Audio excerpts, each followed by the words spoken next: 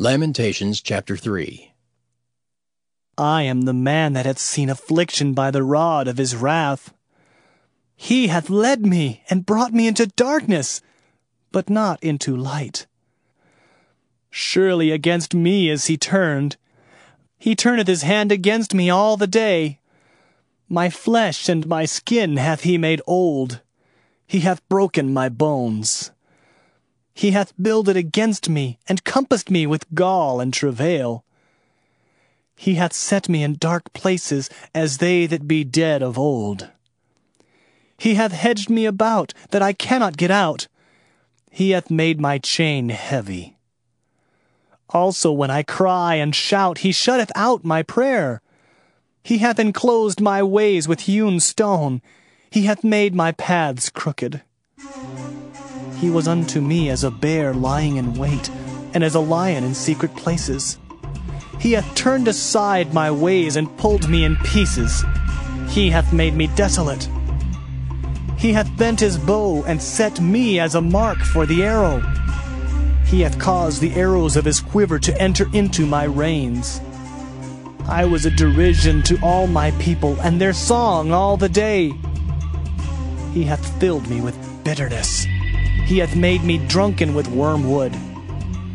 He hath also broken my teeth with gravel stones. He hath covered me with ashes. And thou hast removed my soul far off from peace. I forget prosperity. And I said, My strength and my hope is perished from the Lord. Remembering mine affliction and my misery, the wormwood and the gall, my soul hath them still in remembrance and is humbled in me. This I recall to my mind. Therefore have I hope. It is of the Lord's mercies that we are not consumed, because his compassions fail not. They are new every morning. Great is thy faithfulness. The Lord is my portion, saith my soul. Therefore will I hope in him. The Lord is good unto them that wait for him, to the soul that seeketh him. It is good that a man should both hope and quietly wait for the salvation of the Lord. It is good for a man that he bear the yoke in his youth. He sitteth alone and keepeth silence, because he hath borne it upon him. He putteth his mouth in the dust, if so be there may be hope. He giveth his cheek to him that smiteth him, he is filled full with reproach. For the Lord will not cast off forever, but though he cause grief, yet will he have compassion according to the multitude of his mercies. For he doth not afflict willingly, nor grieve the children of men, to crush under his feet all the prisoners of the earth, to turn aside the right of a man before the face of the Most High, to subvert a man in his cause, the Lord approveth not. Who is he that saith, and it cometh to pass, when the Lord commandeth it not?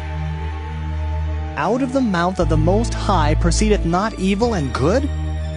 Wherefore doth a living man complain, a man for the punishment of his sins?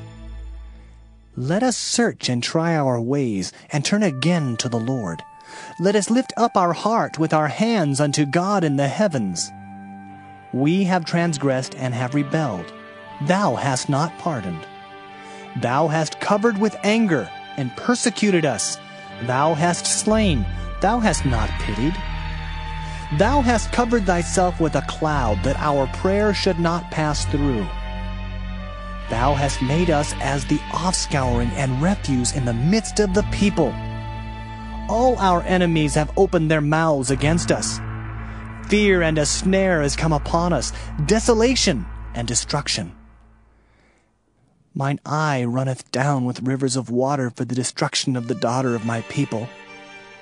Mine eye trickleth down and ceaseth not, without any intermission, till the Lord look down and behold from heaven. Mine eye affecteth mine heart because of all the daughters of my city. Mine enemies chased me sore like a bird without cause. They have cut off my life in the dungeon and cast a stone upon me.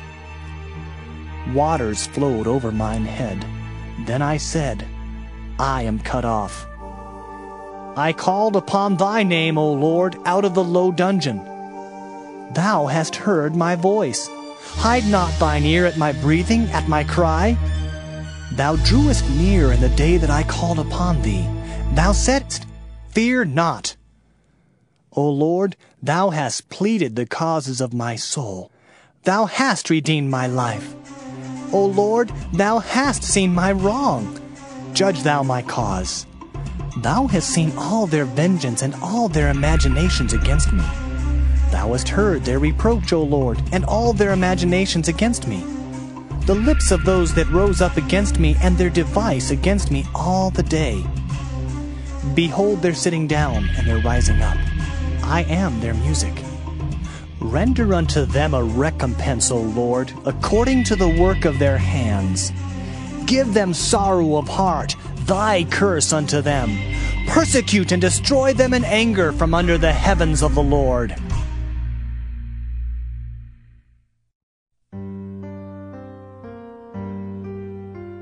Lamentations chapter 4 How is the gold become dim? How is the most fine gold changed?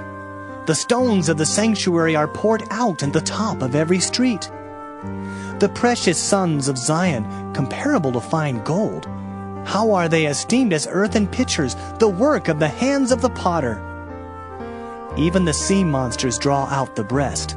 They give suck to their young ones. The daughter of my people has become cruel, like the ostriches in the wilderness. The tongue of the sucking child cleaveth to the roof of his mouth for thirst. The young children ask bread, and no man breaketh it unto them. They that did feed delicately are desolate in the streets. They that were brought up in scarlet embrace dunghills. For the punishment of the iniquity of the daughter of my people is greater than the punishment of the sin of Sodom, that was overthrown as in a moment, and no hand stayed on her. Her Nazarites were purer than snow.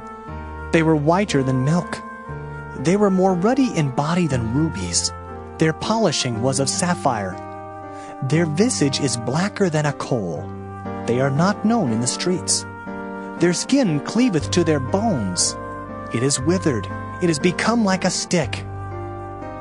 They that be slain with the sword are better than they that be slain with hunger for these pine away, stricken through for want of the fruits of the field. The hands of the pitiful women have sodden their own children. They were their meat in the destruction of the daughter of my people. The Lord hath accomplished his fury. He hath poured out his fierce anger, and hath kindled a fire in Zion, and it hath devoured the foundations thereof. The kings of the earth and all the inhabitants of the world would not have believed that the adversary and the enemy should have entered into the gates of Jerusalem. For the sins of her prophets and the iniquities of her priests that have shed the blood of the just in the midst of her, they have wandered as blind men in the streets. They have polluted themselves with blood, so that men could not touch their garments. They cried unto them, Depart ye! It is unclean! Depart! Depart! Touch not! When they fled away and wandered, they said among the heathen, They shall no more sojourn there. The anger of the Lord hath divided them. He will no more regard them. They respected not the persons of the priests. They favored not the elders. As for us, our eyes are yet failed for our vain help. In our watching, we have watched for a nation that could not save us. They hunt our steps, that we cannot go in our streets. Our end is near, our days are fulfilled, for our end is come. Our persecutors are swifter than the eagles of the heaven. They pursued us upon the mountains, they laid wait for us in the wilderness the breath of our nostrils, the anointed of the Lord, was taken in their pits, of whom we said, Under his shadow we shall live among the heathen. Rejoice and be glad, O daughter of Edom, that dwellest in the land of Uz. The cup also shall pass through unto thee. Thou shalt be drunken, and shalt make thyself naked. The punishment of thine iniquity is accomplished, O daughter of Zion. He will no more carry thee away into captivity. He will visit thine iniquity, O daughter of Edom. He will discover thy sins. Lamentations chapter 5 Remember, O Lord, what is come upon us. Consider and behold our reproach. Our inheritance is turned to strangers, our houses to aliens. We are orphans and fatherless. Our mothers are as widows. We have drunken our water for money. Our wood is sold unto us.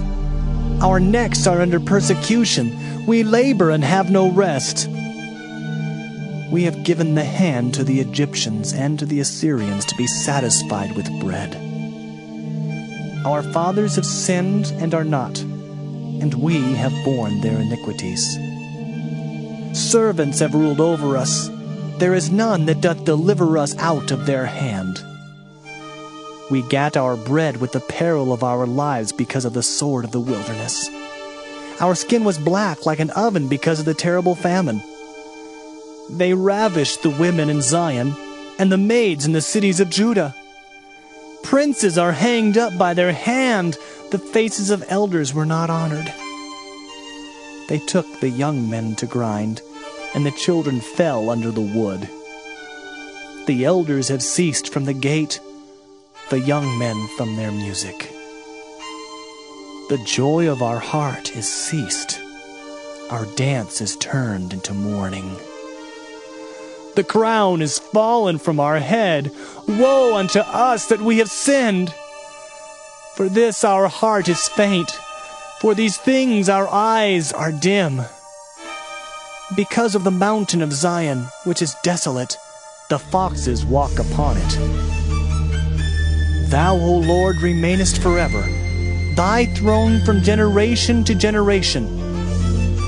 Wherefore dost thou forget us forever and forsake us so long time? Turn thou us unto thee, O Lord, and we shall be turned. Renew our days as of old. But thou hast utterly rejected us. Thou art very wroth against us.